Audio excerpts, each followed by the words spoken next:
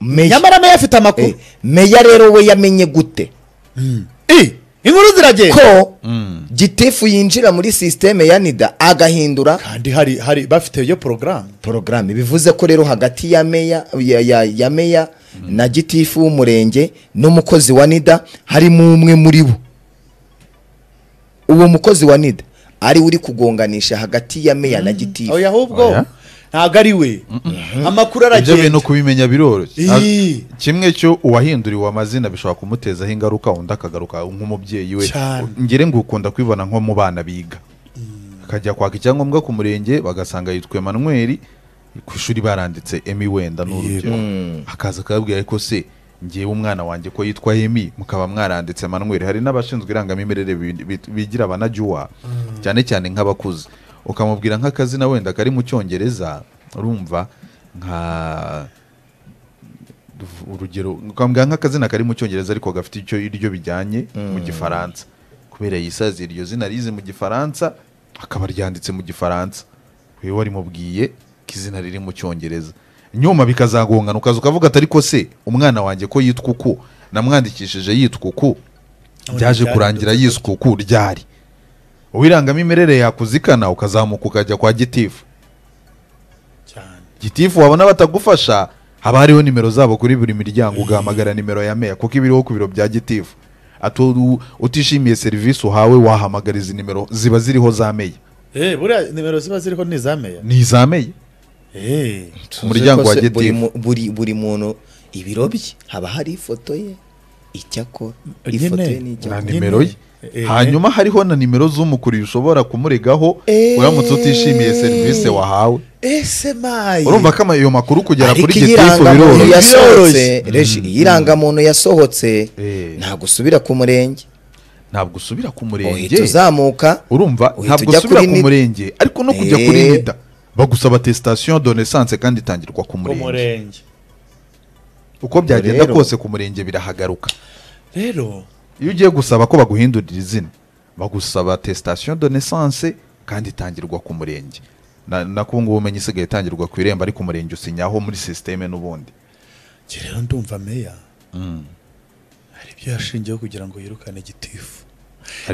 Ese kubera iki ndashaka kubaza? Kubera iki bari kwasisita ko gitifu ari ugaruka mu kazi?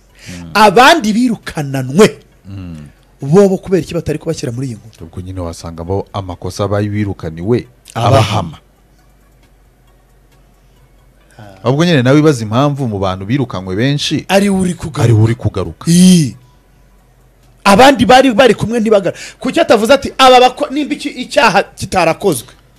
Bakaba kuvuga ko nta guhindura byabaye. Ayo makosa- kandi noneho meya akaba ari cyo kintu yashingiyeho yirukana aba bantu barimo na Ah, ntabwo ntabwo ari cyo yashingiyeho yirukana abo bantu. Yashingiye ku bintu bitandukanye amakosa atandukanye ahubwo iri ngiri ryari irya gitifu. Iri ryari irya none gitifu se imbarutso ni iyi. Imbarutso se ni imbarutso yo kugira ngo birukane kubera kubera abo bakozi ntibabagaruye. Baranditse ngo meya wirukanye gitifu igihe Nyamara n'ikikugaruka reba. iki n'iki ukwiye kuba wagaruye Yirukanye gitifu banza mu kazi muri Eh. mata uyu mwaka ni bwo ubuyobozi bw'akarere ka rulindo bwirukanye mu kazi ndagije imana n'abandi bayobozi batandukanye bashinjwa amakosa atandukanye amakosa bashinjwa aratandukanye Mm. Ubwo rero wasanga muri ayo makosa bashinjwa atandukanye. Eh, gitifu afite irye n'abandi bafite amakosa Eh, Eh, rero n'abandi bafite amakosa ariko yabo. atandukanye badahuriyeho na gitifu. ni uko bari kwigiza nkana meya yakoze akazi ke. Ko kwirukana se? Ahubwo samutayimu usanga hari Nta abayobozi nubwo yavuze basubiza ngo- abandi. akazi kadapfa. Nabaye nshyizeho abantu by'agateganyo. Mm, basanzwe bafite ububasha bafite ubwo bubasha bwakora ako kazi. Kugira ngo serivisi zibashe gukomeza gutangwa. Ah, ibyo byo ni byo yarabikoze. Genda mwumva ariko hano erega ndamwumva. niyo mpamvu niyo mpamvu no mu tuzi dusanzwe bagira uba usanga bafite nk'amakomite ashinzwe imyitwarire y'abakozi ugasanga nyine baricaye bakora iperereza. Niba abantu barirukanywe mu kwa kane. Mu kwa cyenda akaba ari bwo iyi komisiyo yanzura ko gitifu asubira mu kazi. Nyuma y'amezi birashoboka yuko gitifu yahatanye? Nyuma y'amezi Ii, abandi bo atanu bakagenda wasanga gitifu yaba yaragiye akabazonga akapuruvinga uburyo ibyo bintu atari we wabikoze eh, komisiyo ikaba konvenku Cyane. ikongera ikandikira meya ikamubwira ati umuntu wirukanye mu kazi kamusubizemo kuko amakosa gitifu birashoboka yuko iki cyaha yagikoze. nyine ubwo bugenzuzi bwamaze amezi atanu kuko eh, birukanywe mu kwa kane komisiyo itegeka yuko asubira mu kazi mu kwa cyenda. ubwo amezi atanu yose atanu. nyine bari bari mu iperereza n'ubwo bugenzuzi. Kandi noneho na gitifu nawe akareba ni bande bafata ibyemezo. Kuri aka kazi. Barajya arabwira ati ngeme yandenganyije. Abandi nawe ati natwe turamukuriye reka tubikurikirane Eh.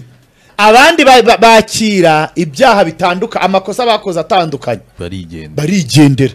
Ariko gitifu aravuga ati reka reka, hari n'igihe umuntu abona agize amahirwe bamwirukanye gusa nta bindi bikurikiyeho nka araro- nka ba- bagitifu na ba sedo twavugaga. Akabona baramwirukanye gusa ntabwo hakurikiyeho ni- n'ibindi by'ubutabera.